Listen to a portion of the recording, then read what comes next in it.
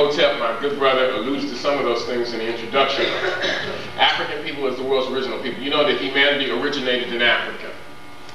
What we call today black-skinned people, uh, with broad Africoid features and spiral hair, originating somewhere in East Central Africa, perhaps 300,000 years ago, spread to the rest of the continent of Africa, and then went out to people the rest of the world itself.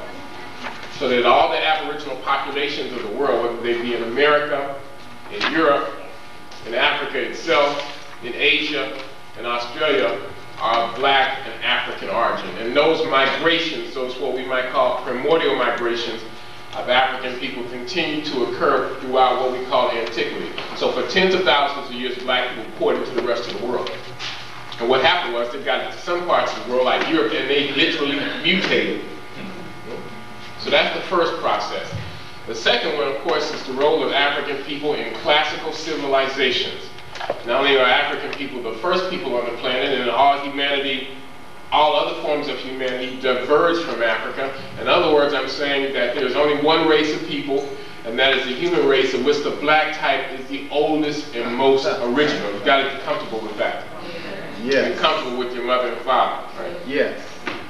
But not only that, black people went out and people the rest of the world, and we know there's abundant evidence to show that African people molded, shaped, fashioned, influenced, formed, created, sustained many of the world's oldest civilizations not only in Africa itself, including the mighty, mighty Nile Valley civilization, but the same thing could be said for Europe, for America, for Asia. Tonight, we are talking about that other African.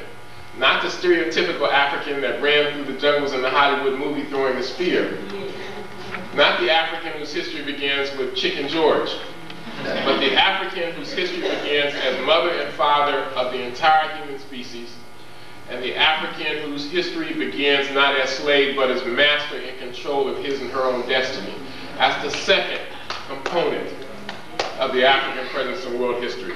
And number three, as dreary as it can be sometimes, uh, we have to re-examine the slave experience.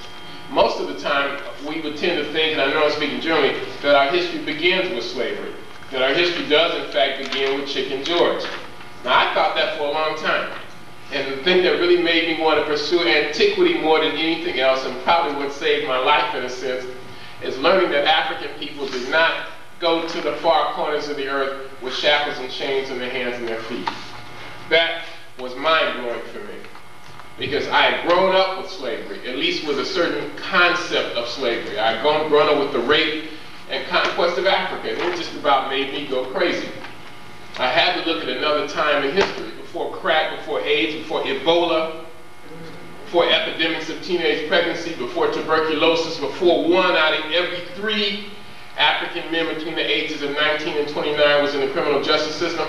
You know, that um, new statistic was announced the same day as the O.J. Simpson verdict. Five years ago, it was one out of every four African men between the ages of 19 and 29 was on probation, in jail, or on parole. Now it's one out of every three. The U.S. prison population is almost 2 million people.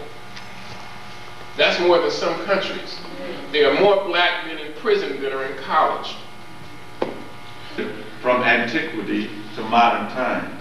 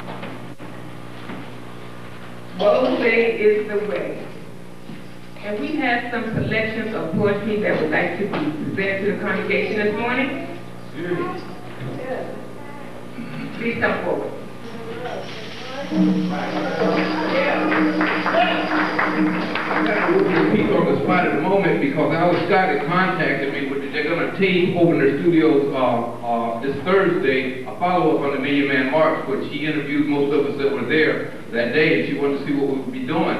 She had asked me, had I written a, a poem, uh, for, for the event, because she had asked me in DC would I? And uh, I told her I would, but I got so overwhelmed behind Frederick Douglass's house that I forgot all about the Million Man March in a sense. And, uh, and the spirit of Frederick Douglass was, to me, bigger than the march itself. So uh, by the time I got to the march, and after this became the poem that I wrote the other night for Alice. We flowed like black rivers from shore to shore into the black sea of humanity. We became one in the spirit, witnessed by Martin, Abraham, and John, to atone for our place in society. Our souls ran deep like an ocean. Our hearts drummed out a rolling beat like thunder to our kin, friends, and countrymen, saying, Brothers and sisters, I have come. Here for our tears pour like libations to our ancestors' name, where our brothers and sisters' problems are one and the same. For we would not be moved by criticism or numbers games. We flowed from every city and county in this mighty land for this baptism called atonement. What we left like on Calvary, our million and one sets of footprints in the sand. All right.